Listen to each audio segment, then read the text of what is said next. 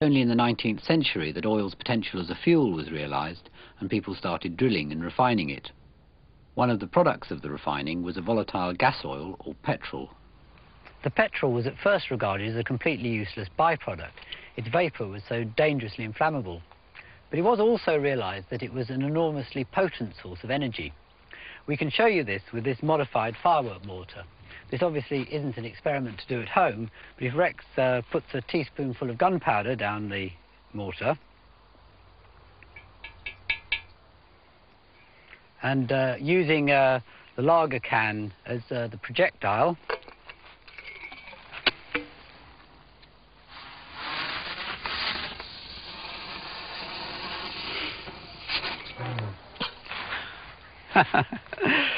Oh dear. Well, it is not very powerful.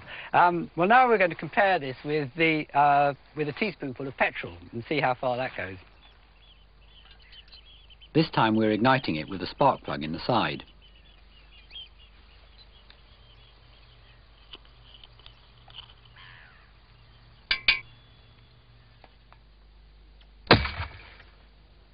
You can see what an enormous amount of energy there is in the petrol. Although it's hard to believe, this isn't actually an explosion. It's just a very rapid combustion, a very rapid fire. The early internal combustion engines were often called explosion engines, though, and I think it's really a much more appropriate name.